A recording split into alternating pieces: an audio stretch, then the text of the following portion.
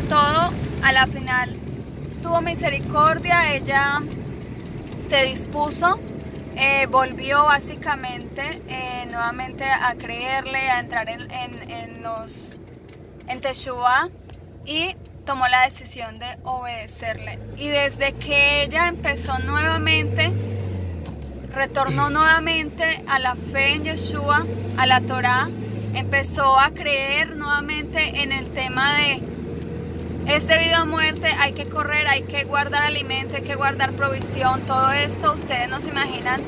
Esa persona, yo me, o sea, yo me acuerdo, recuerdo que, que yo le contaba a mi esposo, ¿qué le digo? Me están pidiendo consejería, ¿qué hago si no tengo el lugar, no tengo la economía, estoy sin trabajo?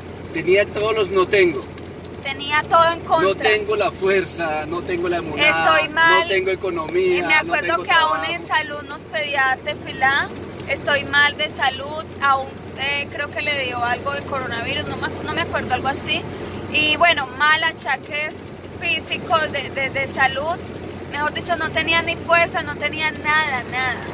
Y ustedes no se imaginan, empezamos un proceso, consejería, ella empezó a obedecer, empezó nuevamente a creer en el mensaje, empezó a clamar, siguió los pasos de no tengo nada, pero voy a clamar, voy a gemir, voy a pedirle al Eterno misericordia y ustedes no se imaginan todo lo que el Eterno le ha mostrado, todo lo que el Eterno ha hecho y en un par de meses, porque les cuento, eso fue hace unos pocos meses, ha cambiado totalmente su vida y está en obediencia para lo que se viene. A mí lo que me impresionó el testimonio de ella y de muchas otras personas es que muchos de ustedes vienen a mí para pedir una consejería y me dicen, amado hermano de Torajay, ¿qué hago? No tengo economía, estoy enfermo, estoy en quiebra, no tengo trabajo. Y de verdad, la respuesta que yo les doy es, no tengo la más mínima idea qué puedes hacer. Clámale al Eterno. Él te mostrará el lugar, Él te dará la economía y Él te dará la salud es exactamente lo que en cierta forma le aconsejamos a esta persona y empezó a hacerlo y le dio todo. De las cosas que más me impresiona es que le doy este consejo a la gente, la gente piensa que de pronto es un consejo muy grosero, muy déspota. Muchos, de, muchos tal vez dirán, uy, no debí ni haberle escrito, ¿para qué le escribí? Ese tipo es un déspota. Pero es que realmente yo no tengo la respuesta, la respuesta está arriba en los cielos. Pero lo que sí me he dado cuenta es que los que en humildad y sencillez han aceptado la verdad y es que yo no tengo la respuesta, la respuesta está en arriba y Él suplirá todas tus necesidades y obedecen y empiezan a clamar y a orar, el Eterno les empieza a dar sueños, amor. Sí, total. Tremendo. Y nosotros quedamos, ¿cómo? Luego te llamaba y cuéntale lo que te decía, todo. Eh, bueno, el, el Eterno le empezó a dar porque no tenía obviamente tampoco la economía, no tenía trabajo, bueno, ustedes no se imaginan, hizo un milagro financiero, ya tiene un trabajo estable a pesar de lo del corona, todo. Eh, el Eterno le dio sueños, dándole la orden de vender su casa, le dijo que, bueno, guía todo, eh, mejor dicho, paso a paso. Un mapa, un mapa del país, país con el lugar, de la ubicación donde debe hacer el refugio. Y le empezó a contestar a todas las inquietudes que ella nos había escrito y que nosotros no sabíamos qué decirle porque solo el Eterno tenía esa respuesta. Nos escribía y decía, amados, ¿qué hago? No sé si vender mi casa o no. ¿Cuál era nuestra respuesta? Amada, no tenemos la más mínima idea, pregúntale al Eterno que Él te diga. Si Él te contesta, véndela, véndela. Si no te contesta, si te dice que no la vendes, no la vendas. Si te dice arriéndala, arriéndala. Y, y le preguntaba y le contestaba a través de sueños.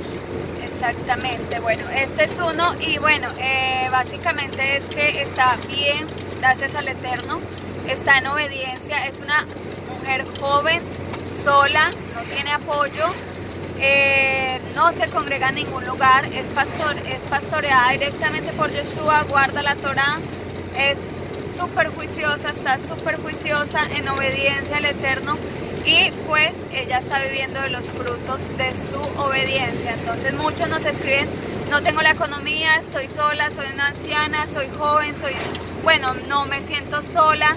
Empiecen a obedecer y el Eterno empezará a actuar. Lo mismo, el otro testimonio, eh, una atalaya en Colombia. Ella comenzó, comenzó a obedecer, comenzó a creer, aún su esposo no, no creyente ni nada. Bueno, como que bueno, la escuchaba y esto, pero ella en su clamor, en su clamor, estoy sola, ayúdame, ¿qué hago?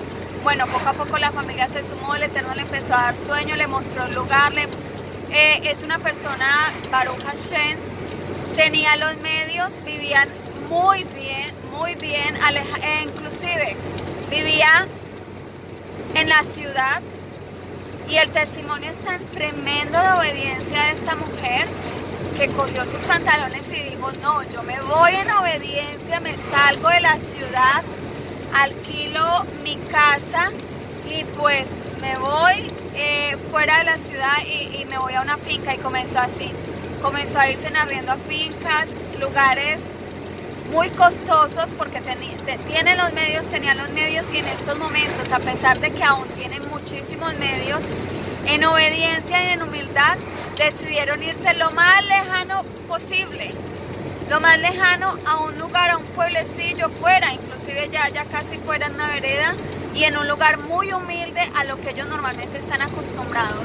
Es que eso que cuando tú me contaste, mamor, lo que me impresionó es que ellos, ellos se fueron a un lugar muy bueno muy bueno, o sea, al tener recursos se fueron a una casa, me contaste, ¿te acuerdas? Sí, una casa, un lugar, wow, y pagaban una cantidad tremenda.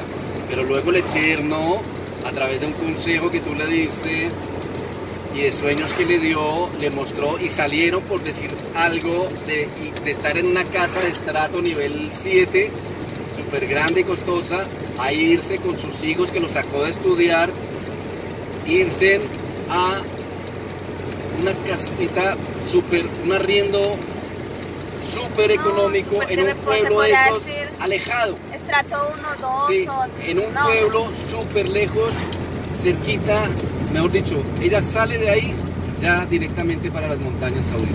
Al lugar que, que el Eterno le mostró, porque el Eterno y le lo más importante, sí, ese lugar muy cerca del lugar que el Eterno le mostró.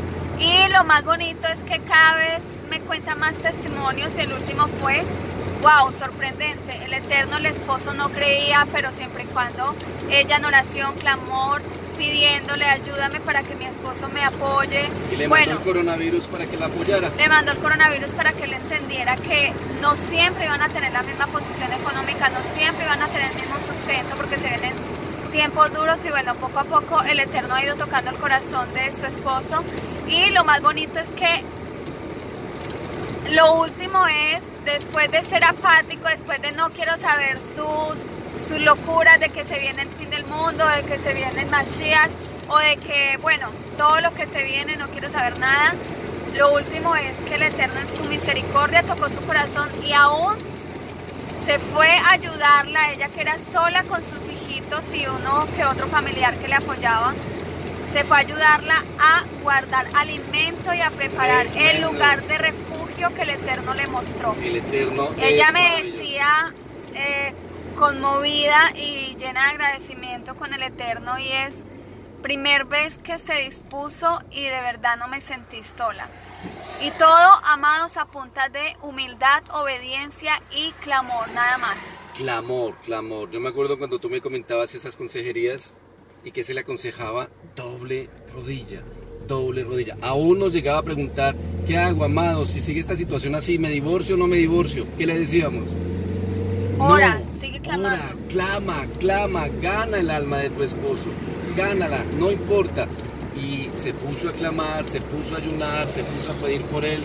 Y miren, el Eterno con esto del coronavirus lo ayudó y ya el esposo la está apoyando. Y sin presionarlo, sin decirle esto, empezó simplemente a dejar que el mismo Eterno a través de la situación actual le mostrara y tocara su corazón y bueno, Baruch Hashem es uno de los testimonios y lo ha hecho. Entonces, amados, el punto que les hablaba, inversión. Amados, si tienes un carro 2017, véndelo y cómprate un carro que te mueva, con que funcione, basta. Y con lo que te quede dinero, inviértelo en la huida, inviértelo en la huida. Si tienes una casa, véndela y vete a lo más mínimo, a un arriendo, porque dentro de poco ya no vas a tener casa que vender. Bueno, continuamos en un siguiente video porque tenemos la batería corta.